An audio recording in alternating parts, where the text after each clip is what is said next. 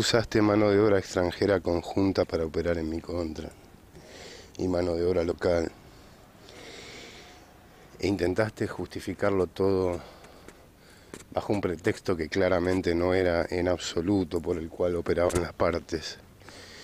Empezaste a hablar de feminismo, empezaste a hablar de cuestiones que no tenían un pedo que ver. Embarraste la cancha, ensuciaste todo. Vos tenías ambiciones económicas y políticas. Ambiciones económicas y políticas. Y las seguís teniendo y lo seguís demostrando. Y la gente que ves que se ríe así, que caminan como en manadas y demás, son todos personajes que estamos en el 2018 con plena deuda externa, locales que se cierran por todos lados, gente que cada vez más gente vive en la calle y demás, y esta gente festeja.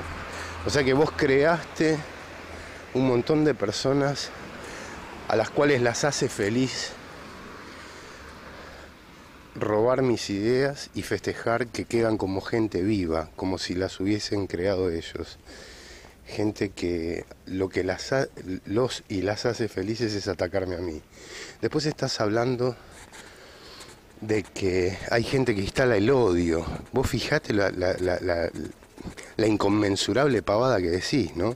Vos que te la pasás instalando el odio en mi contra, decís que hay gente que genera el odio hacia identidades políticas, hacia ideologías, hacia identidades sexuales. Vos que vivís de ejercer e instalar el odio, ¿no? O sea, digo, me parece que sos la persona menos idónea para defender derechos de nadie.